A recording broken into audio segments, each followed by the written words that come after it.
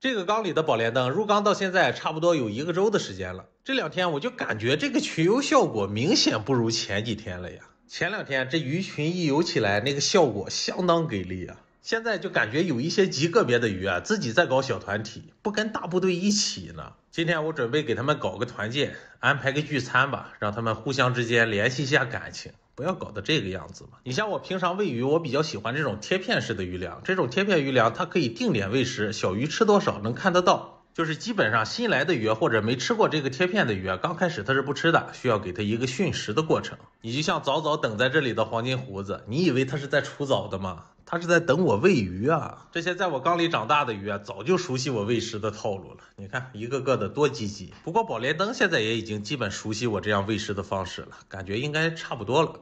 这样没事搞个小聚餐，大家聚在一起吃个饭，联络一下感情，你看多好！我突然发现这里好像有惊喜啊！